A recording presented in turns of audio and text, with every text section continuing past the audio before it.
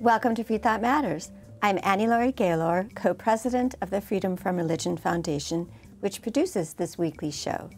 Today's guest is an atheist and liberal redneck, comedian Trae Crowder.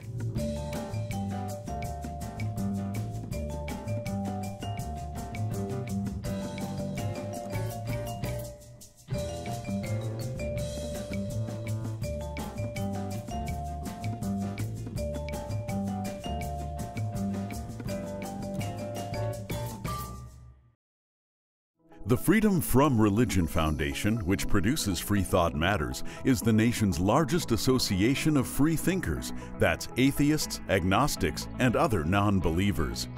We invite you to join us in our vital work to keep our secular government free from religious influence. Become a member at ffrf.org or ask for a complimentary copy of our newspaper, Free Thought Today. Freedom depends on freethinkers. Watch prior episodes of Free Thought Matters on FFRF's YouTube channel.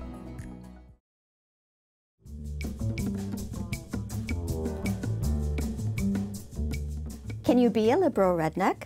Today's guest is living proof, and before we bring on comedian Trae Crowder, I would like to first introduce my substitute co host, FFRF's Director of First Impressions, Matt Kenyon. Thank you for joining me today. I'm a big Trae Crowder fan, so happy to do it. So take it away. All right. Comedian Trae Crowder is co author of the books Liberal Redneck Manifesto, Dragging Dixie Out of the Dark, and Round Here and Over Yonder, a front porch travel guide by two progressive hillbillies, to which is added, Yes, that's a thing. He received the Freedom from Religion Foundation's Emperor Has No Clothes Award as an outspoken atheist back in 2016. You've seen him on Nightline, Real Time with Bill Maher, The View, Netflix, and On the Road. And even once before on Free Thought Matters. And we can all use a good laugh around here, so we're so glad to welcome you back to Free Thought Matters, Trae. Hey. So, Trae, how did you become a liberal redneck atheist? Uh, I mean, what I've always chalked it up to was uh, I was raised by a single father primarily. Uh, whole opioid crisis did a number on my mama, as it did a lot of people. But uh, my dad raised me and my sister. My dad only had one sibling, my uncle Tim, and my uncle Tim is gay and you know openly gay and you know had been openly gay since before I was born, since the '80s, whatever. So my dad. I think for that reason, although he never talked about it openly, my dad didn't go to church because you know they do a whole lot of stuff that don't really jive with loving your gay brother in like Southern Baptist churches and things like that. So he, he all I know is my dad didn't go to church. He didn't make us go to church. I wasn't raised in church, so I kind of grew up just a religious, which is odd for uh, middle of nowhere Tennessee. But I always figured that was the the main reason why. And then I started when I got older and started having thoughts and opinions of my own. I just knew that I, you know, loved my Uncle Tim and I wasn't down with all the homophobic stuff that I heard happening a lot. And that was kind of my entree into being, uh, for that region, a contrarian politically and ideologically, I guess. And then it just every every new thing I became aware of, every new like political stance or argument, I just found myself falling on the left of it, basically. So there you have it. Well, it's kind of a humanist journey. So, Trae, we have a short clip from your Netflix special, Damn Boy, where you tell the story about how you first met your wife, another atheist in the South. Because we met working at a bar together in Cookeville, Tennessee, just up the road here. Yeah, a- absolutely. Noted stronghold of enlightenment, Cookeville, Tennessee. And one day early on, I overheard her talking to another server about that girl's roommate who wrecked her car. And the girl was totally fine, but it f***ed her car up. She got a DUI situation.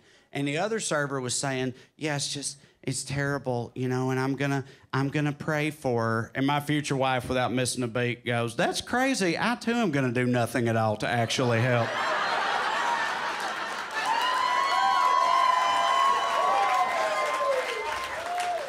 Oh my God. Have my devil babies, you godless snowflake. So that's when you knew you met your non soulmate, I gather. Mm-hmm. yeah. Yeah, pretty much. I mean, that was definitely a big part of it, I assume for her too, but definitely for me. I had never even really thought about it until I met her and we started dating. But like, it made me realize in retrospect that every other girlfriend I'd had up until that point, and I was like 23, I think, when we met, up until that point, had been like a, you know, more typical like conservative Christian, you know, tried to make me go to church, would get mad at me for not wanting to go to church or not being down with the Bible, that type of thing. One of my long term girlfriends was from like a old school Catholic family, like don't believe in birth control type Catholic, you know. So I mean, that's what I. But I just never really thought anything about it because it's just where I grew up and that's just how it was. But then when I met my wife and realized that she wasn't like that, and it was the first time that ever happened to me, it was kind of a mind blowing moment for for sure.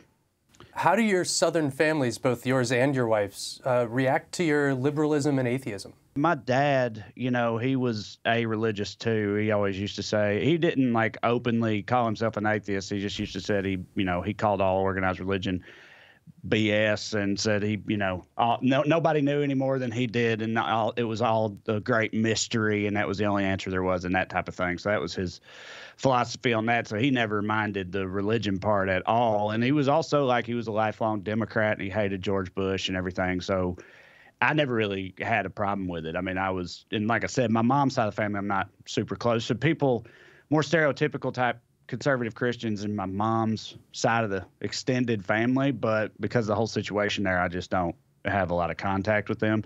Also, I should mention my dad passed away pancreatic cancer like 10 years ago, but I was sort of I'm just sort of the way I was raised to be. My wife is the more classic like blue sheep, that's what I call it. Most, most of the southern liberals that I know are are like the blue sheep in their family, uh, and my wife is she's that. But like her family's cool. They're uh, they're not uh, they're not overly fervent or hardcore. They're not uh, you know mean or judgmental about it. They I mean also they're like frankly they probably wouldn't like me saying this, but it's the truth. They're that type of like they self-identify as Christian and everything, but like I don't ever remember them going to church, not once, not even on Christmas, you know. And that and there's a lot of families like that in the South too. So I sometimes I kind of think secretly they're not super into the whole, you know, Southern Baptist scene either, but they just can't say that out loud because where they live. But that's just my theory. I'm just speculating. They have not confirmed that. But yeah, it's we're lucky. It's not so bad for us.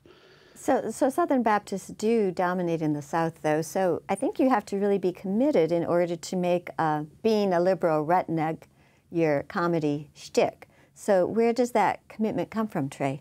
I think back on myself in like high school and stuff, and I can't believe I had as many friends as I remember having because I feel like I was kind of insufferable because I used to like, I was like the smart kid in my class, but you know, I'm from Clay County, Tennessee. My class had 60 something kids in it, and that's the biggest class that school system's ever produced. It's normally like 30 or 40 kids. It's a town of, you know, a thousand. There's no traffic lights. So the bar is pretty low. It's not that impressive to be the smartest kid in a class in Clay County, but, uh, you know, it's not like uh, being at Princeton or something. But I didn't know any of that. I had no frame of reference, and so like I was the smart kid in my class, and I always made really good grades and stuff. And so like at like when I was 18 and left Clay County, I genuinely thought I was Goodwill Hunting. Like I thought I was like a literal prodigy like genius level intellect. Like that's what I thought about myself.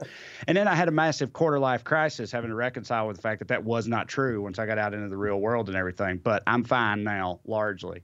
anyway, point is because I thought I was so much more supremely intelligent than everybody else that I was in school with, the fact that I had different opinions on things than them never seemed weird or off to me. It didn't bother me, and I was never like ashamed of sharing them. Like when things would come up and they would think this, but I would think something else, I'd be like, well, that makes sense because they're stupid and I'm smart. So, like, you know, it's not weird that I think something different than they think. And also, like, I was so confident in how much smarter I was than them that I never held back or whatever. And so I was always kind of, but I was also kind of, kind of goofy and funny too. So that, that's that's how I think it was more palatable to people, and I, you know, they didn't just outright hate me for that because that's not you shouldn't be that way. But like that made me very contrarian, I think, and and and, also very like steadfast in my contrarianism, which just carried over into, I mean, the rest of my life. I've just never really been, uh, I've never shied away from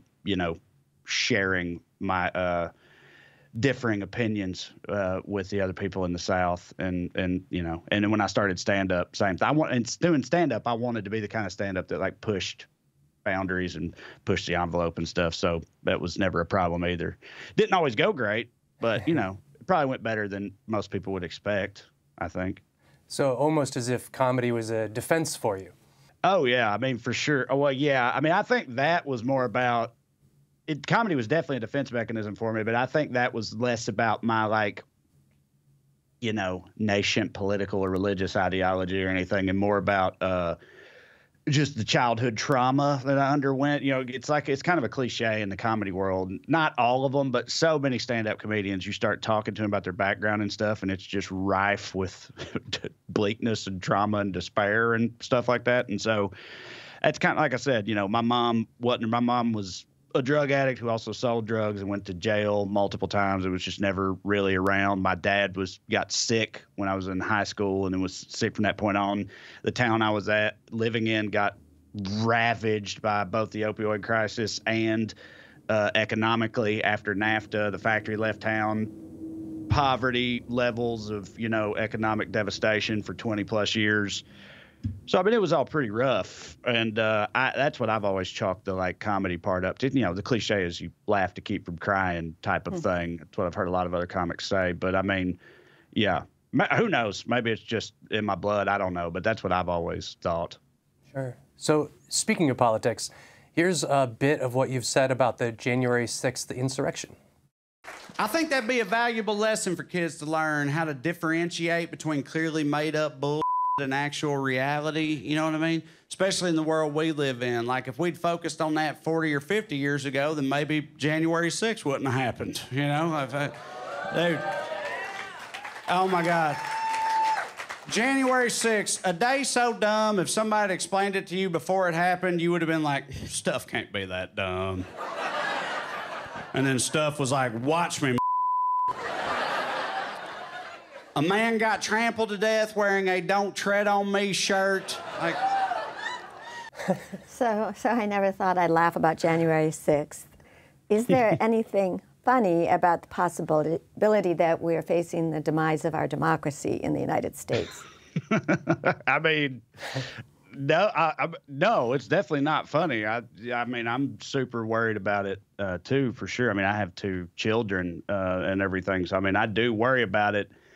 But again, it's just kind of in my nature. Like I'm gonna keep making fun of it, although just because I'm a, I mean that's what that's like my job now, but also that's just how I process things and what I do. I think that there's always because and this is it, this makes it even scarier and more unfortunate but because the nature of our particular demise in this democracy is so stupid and like like comically over the top dumb like the people at the people perpetrating it are like these laughable characters and everything that it's almost hard to believe that they are even in the positions they are in. Like it, that makes it inherently easier to make fun of and find things that you can laugh at. But again, it's a laugh at it to keep from completely breaking down into an existential crisis type of situation because it is very scary. But I think you could try to make fun of anything, you know. So we want to show another clip. This is from your weekly rant series, this time talking about the Satanic Temple and Christmas. I wanted to make a Christmas video because it's only five days away. Tis the season, y'all. And I just want to put this little missive out here and, and ask y'all this Christmas season, don't forget to set aside some time and praise the Dark Lord Satan in his unholy name. That's right. Feel the malignant spirit, baby. That's right. The most fetid of blessings indeed. Nah, I'm just kidding. Satan ain't real, obviously. But that doesn't stop him from having quite the moment in the sun this Christmas season. Satan's been everywhere. He has. There's a Satan statue in the Iowa State House. All these after school Satan clubs popping up around the country, all of which has been threatening to collapse the global pearl economy on account of all the clutching that Christians are doing over it, which is how you know it's working, baby. And none of it's actually about Satan. It's the Satanic Temple, which is an organization that advocates for benevolence and empathy, opposes tyrannical authority, and encourages practical, common sense thinking. So, right off, you can tell why Christians hate them, right? No, but that's why they do these things. They do these things to illustrate important arguments about freedom of religion and freedom of speech, right? That's what they're about. It has nothing to do with a redskin pitchfork feller running around trading souls for fiddle lessons Like it ain't about that. So you might ask, well, why use Satan at all? Because it works, right? If the organization was called the Sane Persons Club for making sense and doing good. Nobody would have ever heard of it, but they understand that Christians can never resist a moral panic, especially one of the satanic variety. And as a result, nearly every American is aware of their cause, right? The Satan stuff works.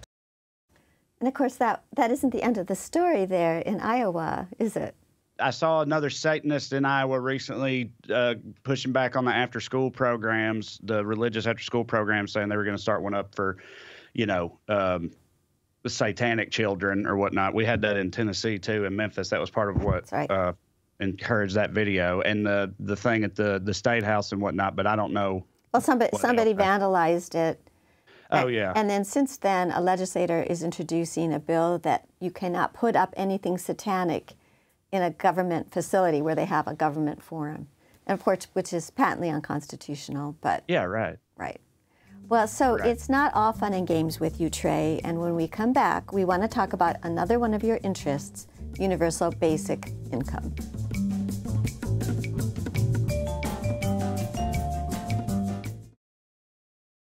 Hi, I'm Ron Reagan, an unabashed atheist.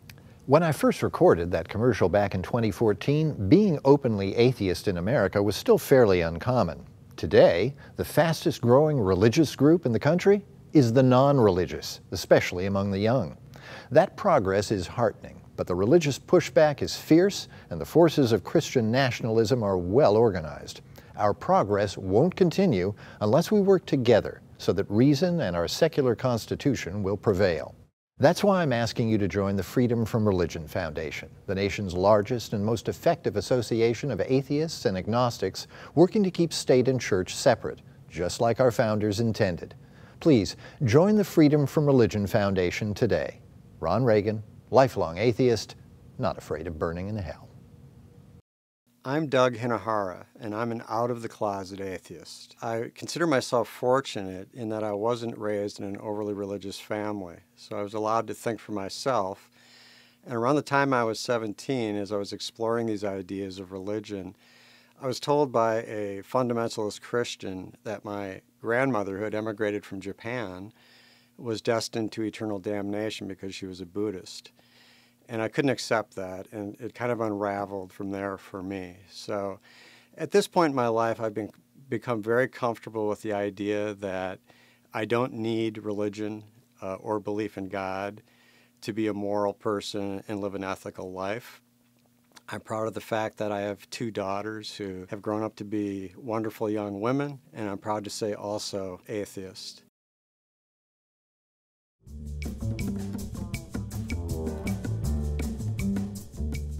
Free Thought Matters is back. Matt Kenyon, who is FFRF's Director of First Impressions, and I are interviewing liberal redneck comedian Trae Crowder. So, can you tell us briefly about a documentary about universal basic income and how you got involved? Steve and Rennie, the writer and director, and also produ- and then the producer of the of the documentary, just like had the idea for it, and I think got a hold of me somehow. We went out to dinner, and they were talking about how you know they thought UBI was going to be super important in the coming years and all that. And I, at that point, I had heard of it but didn't know that much about it, and I told them I agreed. At that point in time, I was thinking like, well, you know, with automation and AI and stuff. And I'm not saying I don't think this now. I was like, eventually, you're either going to have to have a UBI or everything's going to completely fall apart. There's not going to be enough jobs for all the people eventually. I mean, I would have thought it would that landscape would look even worse by 2024 than it does. So, you know, I don't know. I'm no expert. I'm no uh, tech prognosticator. But either way, I was open to the idea of UBI also because of my background where I came from and everything. So I told them, yeah, sure, I'll, you know, help out. And the idea at first was just that like they had heard me talk about my hometown and what had happened there, and I I referenced it very briefly in passing earlier. But uh, it's just been completely economically devastated by the, the factory leaving in the mid 90s, and it's never recovered, and it's been horrifically bad for 20 something straight years. They'd heard me talk about that on various platforms, and they wanted to like go there and you know use Celina, that's my hometown, as a backdrop for this story. And I was like, that's that was the that's all they asked me to do at first. I was like, yeah, okay, that's fine. And it was just gonna be a tiny piece of the documentary they were planning on making. They went to Celina, got so uh, you know wrapped up and everything that was going on there, it became a much larger part of the documentary, which is what happens with documentaries a lot of the time, which meant you know my involvement expanded, and eventually I became like a producer of it too. I am a producer of that documentary, but I always, you know, uh, deflect the the credit because I was it was not you know I just came on board because I believed in it, but it was their brainchild, you know, and they were uh, really the masterminds behind it. But we um yeah, I still do believe that UBI is a you know a good idea and could be a great force for good. But it doesn't seem like you know Andrew Yang. We interviewed Andrew Yang. He was kind of the the he was at the tip of the spear for that at the at the time. He's sort of gone in interesting direction in the intervening years, and you know Bernie Sanders would talk about it, but also Bernie's you know time seems to have sort of passed or is passing, and it's like I don't know what's going to happen with UBI going forward but I don't think it's going to just go away. I think it's going to, you know, remain an issue because I still believe at some point, you know, we're going to reach a point where it has to be discussed. Something's going to have to give and be figured out. Uh, I think eventually. Well, so we, we surveyed the members of the Freedom from Religion Foundation four years ago, and it surprised me a majority supported universal basic income. So, to lighten up, let's do a lightning round.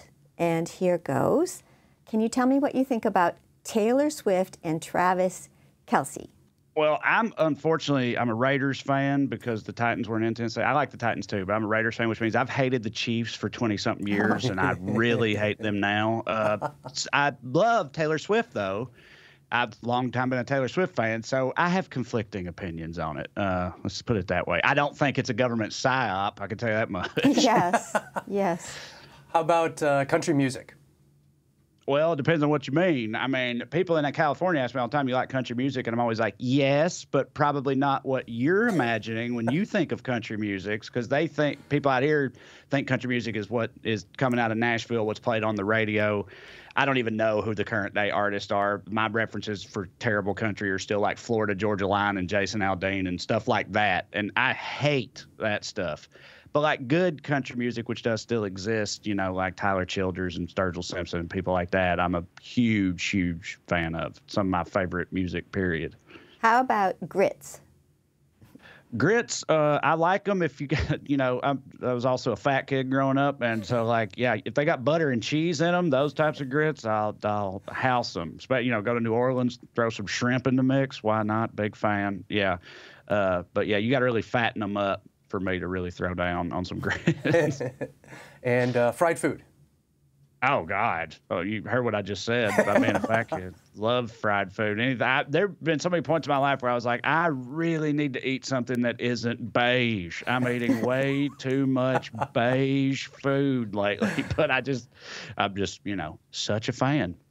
Beer beer? Uh i as i've gotten older i you know of course i i used to drink a whole lot of beer as a burgeoning redneck plenty of natty light natty ice things are just the most terrible swill you can imagine but get you lit though but i uh as i've gotten older it it just kind of bloats me too i still like like a good beer but you know um i'm more of like a if I, like if I'm drink, I don't drink near as much anymore. But if I'm going to drink, it's something like a vodka soda or something. you know, one or two of those because I just can't. I can't go at it like I used to. Just don't have the consi- constituency for or whatever the word is. Constitution. Uh, Constitution. Thank you. Constitution for it anymore. Yeah. Uh, book bans.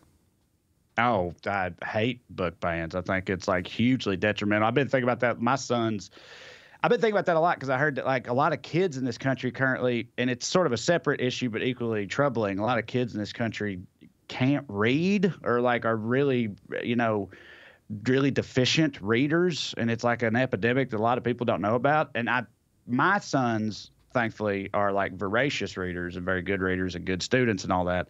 And I've been thinking lately about how like so they're 11 and 12, but anyway, I'm about to start like seeking out these banned books because we live in California and like making them read them or, or like suggesting that they read them because that's how I feel about. It. I mean, my growing up where I did, I read so many books and like they were my entree into like even having read those books when I left Celina, there was still so much I didn't know about the outside world, but it would have been infinitely worse if I hadn't read, you know, the books that I had read. I think it's hugely important.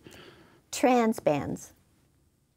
Uh, it's completely ridiculous. I don't know where I don't know how they justify acting like it's any of their business. That's the thing is too. It's like a small town culture. It's ostensibly supposed to be, you know, you mind your own business. Don't take. But of course, they break that all the time. They say that, but then they gossip about each other behind everybody's back and peek through their blinds and stuff. So I guess it does kind of make sense. But like, yeah, it's just what does it have to do with you? Is my whole thing. And then they, you know, they'll their response to that is like, well, you know they're grooming children and stuff, and we care about the children. Somebody's got to think about the children, which of course is not true. And on top of that, you know, far more religious authority figures uh, are, you know, predatory towards children than trans people ever have, and of course, none of that matters. So I just don't, I don't know what kind of, you know, actual basis you can you can have for for supporting that position other than just like admitting like we think it's weird and we're grossed out by it, you know, which they're not going to do. So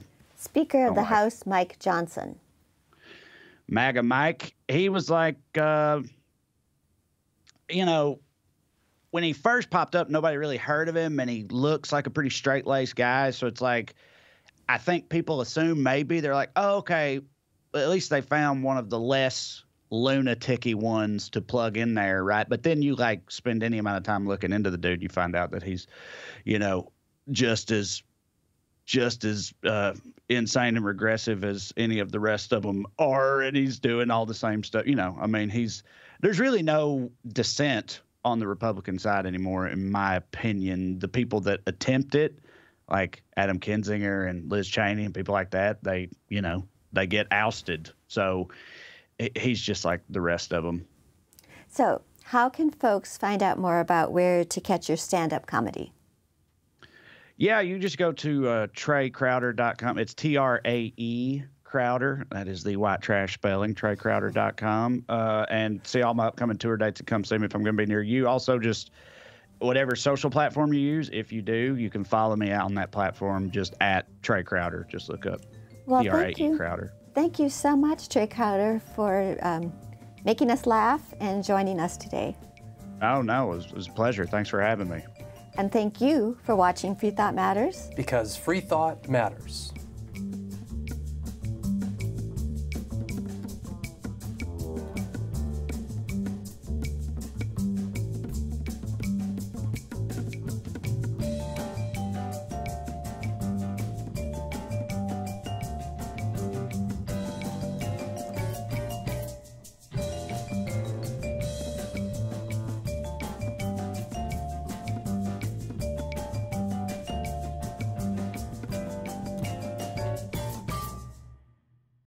Hi, I'm Steve Pinker. In my book, Enlightenment Now, I show that the world has become a better place as reason has been overcoming superstition and tribalism. But the values of the Enlightenment are under attack. That's why I'm a proud member of the Freedom from Religion Foundation, the nation's largest association of free thinkers working to keep state and church separate. Please join me in supporting the Freedom from Religion Foundation to ensure that our government is driven not by religion, but by reason.